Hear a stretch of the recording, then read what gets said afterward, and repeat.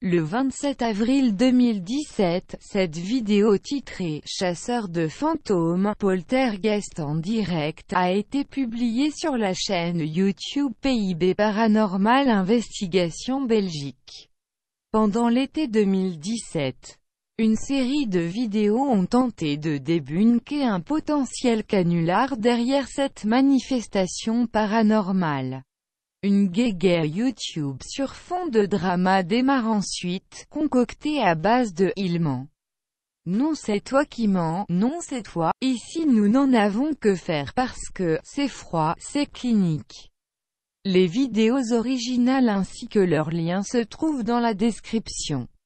Il n'y a eu aucune altération du matériel original hormis l'insertion d'un timecode. A. La source, la vidéo dure 16 minutes 53 secondes. Elle est composée comme un plan séquence, enfin, plus ou moins, nous y reviendrons. La première partie nous intéresse peu. Il s'agit d'une visite du rez-de-chaussée de l'édifice. La descente dans le sous-sol démarre à partir de la sixième minute. Voici une topographie du sous-sol, reconstituée d'après la vidéo. Merci de souligner au passage mes capacités éblouissantes en graphisme. Bref, à gauche, la pièce verte correspond à l'endroit d'où est censée provenir la chaise, c'est-à-dire la pièce avec l'établi. Juste en face, la pièce rouge correspond à la salle d'où j'émets l'hypothèse suivante, la présence d'un complice. Retenez bien ce code couleur, nous allons fréquemment y revenir. Point B. La démonstration. Il y a une longue déambulation dans ce couloir. À plusieurs reprises, nous avons un point de vue sur l'intérieur de certaines pièces depuis ce couloir. Sauf sur celle qui est censée abriter la chaise. Les cuts du montage. Un premier cut intervient à 06, 18, 16. La pièce verte est à notre gauche. Dans ce plan suivant, nous avons fait un bond en avant. La pièce verte est dorénavant derrière nous. Nous voyons depuis le couloir brièvement l'intérieur des autres pièces. Un second cut dans le montage intervient à 06, 40, 25 pour éviter de montrer l'intérieur de cette pièce où se trouve la chaise. Un dernier cut intervient à 07, 28, 28. À partir de ce moment, et jusqu'à la chute de la chaise, il n'y a plus de coupure au montage. Une nouvelle déambulation démarre. Il y a plusieurs allers-retours voici la seule et unique fois où l'intérieur de la pièce est filmé. La chaise n'y est pas visible. La démonstration tentant à prouver un fake s'appuie sur le fait qu'un complice faisait tomber la chaise à l'aide d'une barre cachée derrière l'établi. Cette chaise devait être présente sur le pas de la porte. Ce n'est pas le cas. Une autre démonstration s'est appuyée sur l'analyse du son.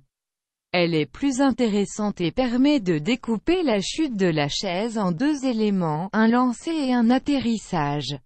Dès lors il y a deux possibilités. La chaise a été lancée depuis la pièce verte ou depuis la pièce rouge. Un pic de son provenant de la piste droite apparaît et pourrait favoriser la présence d'un complice dans la pièce rouge. Oh putain. Une visite rapide de la pièce verte donne deux opportunités de cachette, derrière le muret ou derrière l'établi. Mais ces endroits sont éloignés et pourraient facilement générer du bruit pour les rejoindre en un temps très court. La pièce rouge, jamais visitée de l'intérieur peut quant à elle contenir le complice, collé au mur à gauche ou derrière la porte à droite. Le lancer peut se faire en un rapide pivotement sans avoir à bouger de trop pour se cacher. La caméra embarquée filme la partie gauche du visage. À deux occasions, il y aura deux brefs regards en direction de la pièce rouge. En sachant que la chaise doit provenir de l'autre pièce, ils ont relevé mon attention. Ces petits moments sont un potentiel contact visuel avec le complice. Après une rapide visite de la pièce verte, un dernier regard vers la pièce rouge avant d'y aller timidement sans y rentrer. Normal. Le complice est soit collé au mur à gauche ou plus que probablement à droite. Cette démonstration est bien sûr contestable et ne prouve rien en soi, c'est une théorie non une affirmation. Mais l'accumulation d'éléments curieux m'ont poussé à m'y intéresser plus en profondeur. J'invite évidemment l'auteur de la vidéo originale à venir me fermer la gueule et me prouver que j'ai raconté des conneries et perdu mon temps à enregistrer cette voix ridicule. La vidéo originale est filmée en 30 images par seconde et a été postée en 720p. Le filtre noir et blanc rajouté en post-production et le diaphragme automatique de la caméra faisant son exposition de façon complètement anarchique, ne facilite pas l'analyse des images.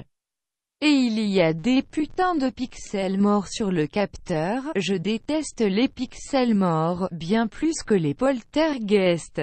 D'ici là portez-vous bien et rendez-vous pour le prochain épisode de « C'est froid, c'est clinique ». J'aime bien le côté crédible de rajouter des émoticônes au titre d'une vidéo qui est censée prouver l'existence de l'au-delà.